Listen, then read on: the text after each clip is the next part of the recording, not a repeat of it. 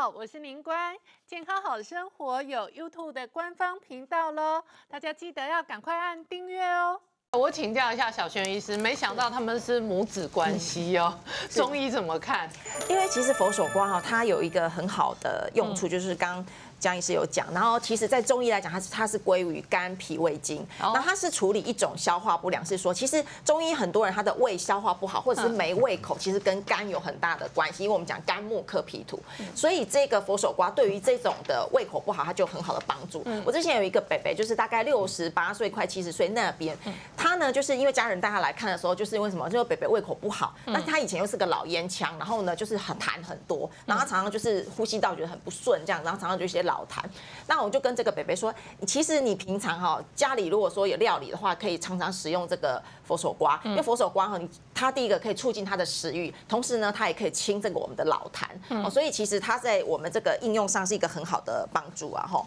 那另外这边我们也准备一道茶饮给大家参考，就是因为现在。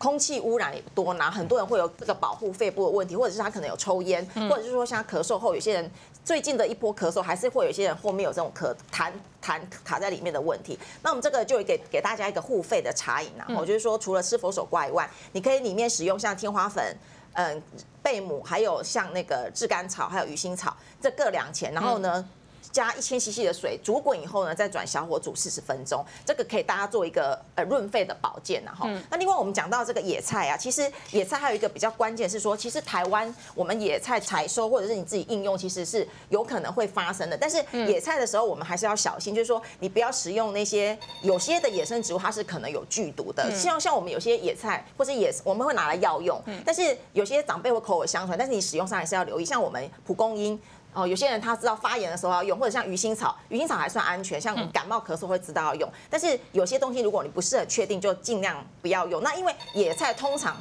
有一个特色是他们会有一些清热解毒的功效，所以你还是要留意那个量的使用。那另外一个野菜呢，它在使用上呢，就是说有些需要浸泡，如果有些没有浸泡过，你可能吃。使用上可能会造成一些不舒服哈。嗯。另外一个就是你要注意它生长的环境，你不要路边看到就摘。譬如说它在附近可能，譬如说它是在一些比较容易有污染物的地方，那你这样使用，你可能会连这些毒素或是脏的东西都吃进去。另外一个就是说野野菜还是要新鲜食用，你放越久，它当然它的营养价值可能就会有影响。那小轩医师怎么看三叔这一类的野菜呢？其实野菜真的很好玩，因为它其实常常会带顺便带有一些功效哈。那三叔其实它本身呢，它我们。讲说它其实又叫鸟巢蕨啦，哈，那它本身呢，其实有一些强筋骨、去淤血的功效。然后呢，同时呢，它也可以这个呃帮助便秘。那我刚好有一个病人，他是这样子，他大概九十几公斤，体重比较重，所以呢，他的韧带嗯就是断掉，他他的膝盖。所以后来呢，医生有建议他要做手术。那他手术后呢，他又跟他说，你必须维持就是一个姿势都不能动。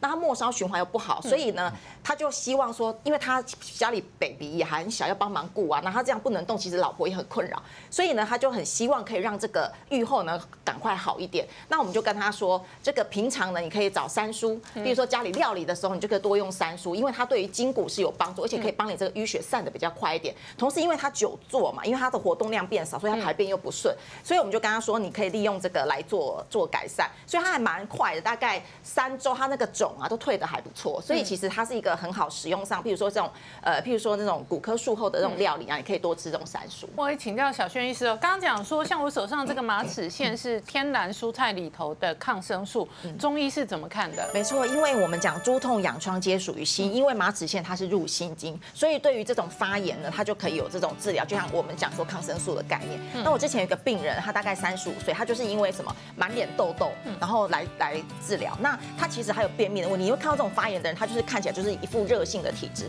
所以呢，我们就请他就是蔬菜呢，就是像马子苋这种可以多吃，就这样慢慢慢慢调理半年，请他这样补充这种抗发炎的这个蔬菜，那他慢慢慢慢这些就改善，他排便也改善。